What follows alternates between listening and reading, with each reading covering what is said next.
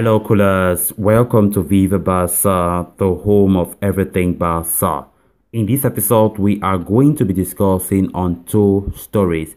We are going to begin with Marc-Andre Ter Stegen, as it has been reported that the Barcelona administration are considering, you know, the possibility of you know cashing in on Ter Stegen maybe next summer. You know, given the fact that the club really needs money, and of course Ter Stegen not really being on his best form lately. We're going to be discussing on the report as we move ahead. Then secondly, we're going to be talking about this other transfer as they are saying that Barcelona are reconsidering their position on the transfer of Portuguese midfielder Renato Sanches that Laporta is showing some interest somehow lately, you know, of the possibility of Renato Sanches coming to FC Barcelona. We are going to be discussing on that as well. So guys, as we get ready to discuss those stories in much detail, please make sure to subscribe to this channel if you haven't subscribed. If you are just coming across this channel for the first time, give this video a like and make sure to watch this video right up to the very end.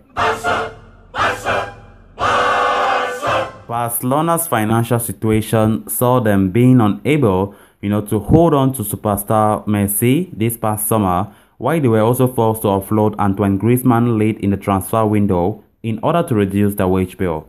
But with things still not looking good on the economic front, Barca could be forced to consider offloading more high-value players in order to make cuts to their payroll as well as you know generate some funds from that sale.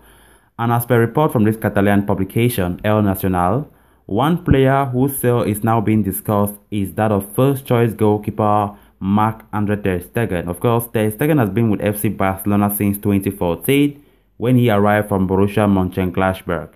Having evolved into one of the best goalkeepers in Europe during his time at the Camp Nou, Ter Stegen is a key part of the Barcelona setup.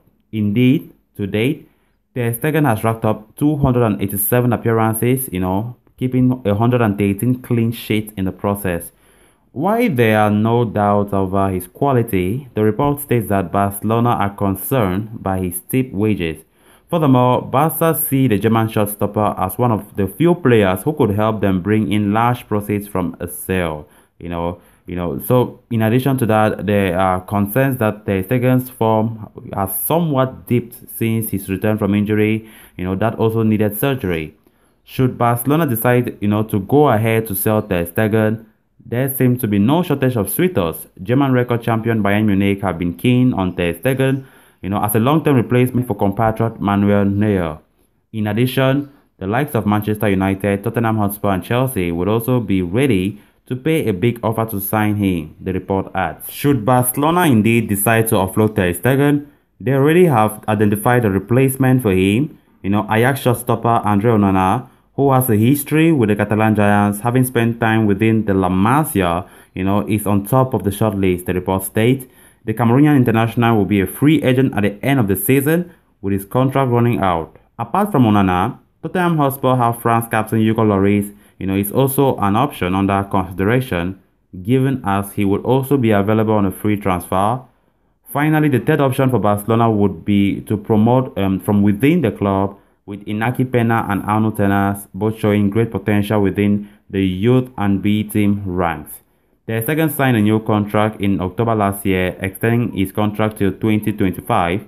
You know, selling him with the club in a transition phase might not be the smartest move from Barcelona. Then moving on to the next story of discussion.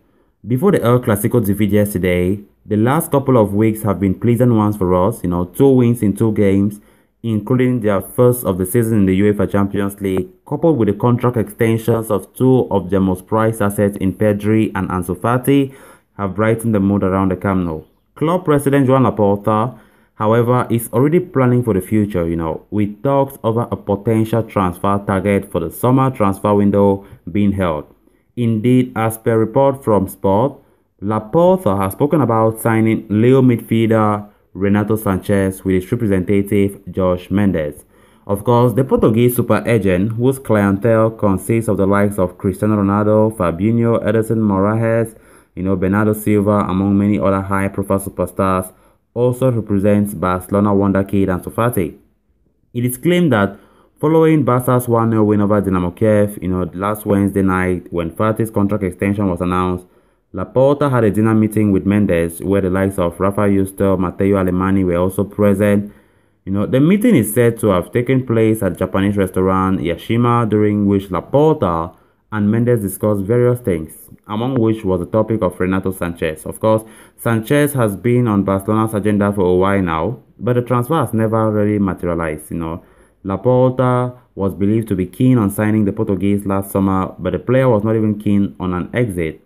However, that is said to have changed now, with Lille president Olivier um, Letang in, um, indicating as much in a recent interview when he said, I've already talked about that. I've already discussed it with him. If an offer comes from a big club, Renato Sanches can leave. We'll see what happens. But for now, he is with us and he's happy to be here.